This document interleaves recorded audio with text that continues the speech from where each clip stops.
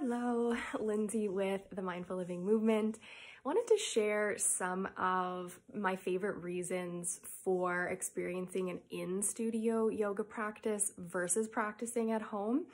Um, and I just wanted to start by saying that I definitely do still, I practice yoga at home. I will tune into some of my favorite teachers um, online through like on-demand on demand classes or, um, you know, like live classes if I can catch them.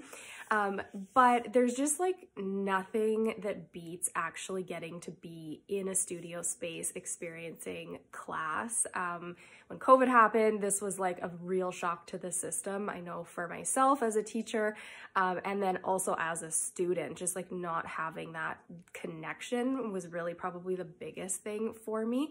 Um, and so, yeah, like I, I do take support as a teacher and as a student from my fellow yogis around me practicing on the mat. It's just like, you don't even have to share words with the people that are in the space with you. There's just something about like when you have this sort of collective energy and you're working through whatever you need to work through in your own way. It's just like so supportive, you know, and you get to sort of have those moments before and after class where um, you get to say hi and, and hang out with, you know, people that are very like-minded. That's a huge, huge reason that I love um, an in-person practice whenever possible.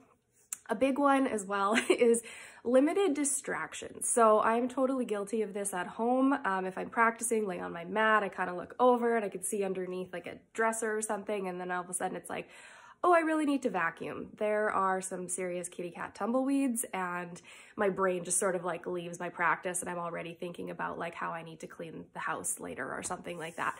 So that helps a lot. Just literally taking yourself out of this space or your cat's wandering across your mat or your children trying to disrupt your practice. It's just like you get to be with yourself um, and those distractions are usually much farther away. Um, accountability is a big one. So accountability of your teacher being present with you. So we tend to kind of show up just a little bit better um, for ourselves when we know that we're being observed, when we, we know that there's like a teacher, we're not as likely to just like, you know, let our brain get distracted by things. We can sort of stay focused a little bit more on our practice. The other thing is that when your teacher is present with you and not, you know, on the other side of a screen or you're not just doing a pre-recorded thing, is that um, we can actually teach to where our students are at and it's just going to propel your practice that much further forwards we can see, you know, where you're at, what props might be needed.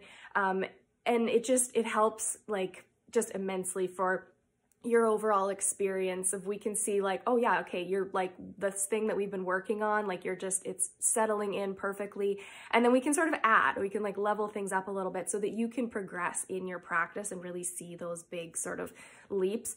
And vice versa you can say to me you know what? I'm a little bit tired today or I've I had a leg day yesterday. I need to kind of take a break on that. And then we can tailor practice a little bit to that. So you still get to have a full practice but we do it with kindness to ourselves, which is a, a, big piece of things. You may not know how to adapt your practice um, if you're just tuning into like a pre-recorded class or something like that from home.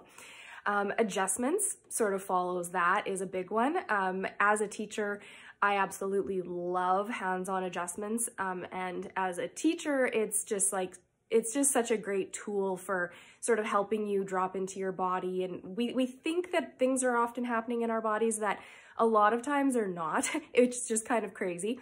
Um, so then having your teacher just make those like subtle little adjustments, it's like, oh, okay, yeah, my hip was a little bit high there or something like that. It just, it's amazing again for just alignment, for safety, and then for helping to get out of bad habits. We can settle into bad habits really easily when we don't sort of have those little readjustments along the way. And then of course, props. You may have yoga props at home, um, but it can be a significant investment sometimes. So having a large assortment of props at the studio is a really, really nice bonus. I'm a huge fan of props. If you've ever practiced with me in person, I generally, it's like I kind of know the inventory number of props and then I'll just like divide them out amongst the students. So if it's a smaller yin yoga class, we might use three bolsters a person or three blocks a person or three straps a person. You never know where we might end up. Um, I'm going to use everything I possibly can to just like make it the best class possible. So those are some of the reasons if you're ever wondering, you know, yeah, you can practice at home or yeah, you can practice in studio. Those are probably my top um, five favorite reasons. If you have any others that you really love to show up in person for, drop them in the comments. I would really love to know um, what does it for you versus like those differences. And I hope you have a, ma magical rest of your day until we get to meet again. Have a good one.